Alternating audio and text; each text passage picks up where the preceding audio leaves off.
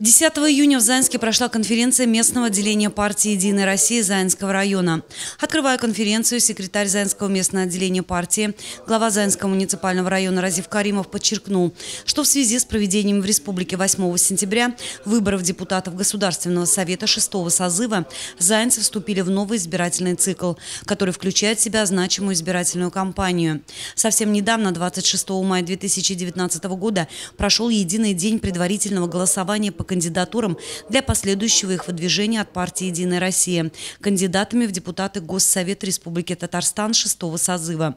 Зайцы приняли участие в предварительном голосовании, проявив высокую гражданскую активность. Большая работа была проведена всеми организаторами предварительного голосования.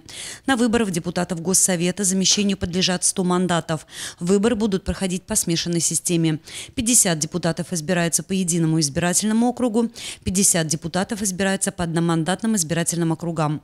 В ходе конференции обсуждался вопрос реализации национальных проектов на территории Заинского района Республики Татарстан.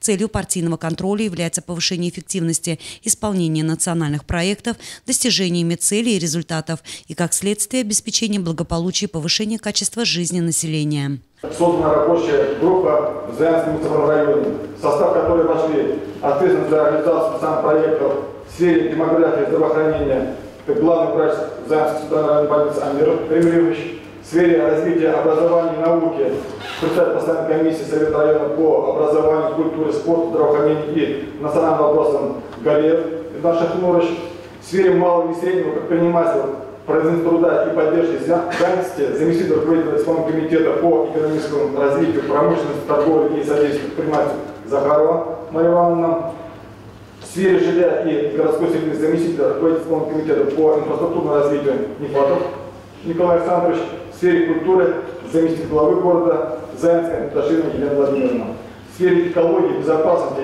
и качественной автомобильной дороги начальник отдела ЖКХ, стресс, транспорта, энергетики, связи и дорожного хозяйства исполнительного комитета района Петров Антон Валерьянович. Председатель рабочей группы являюсь я.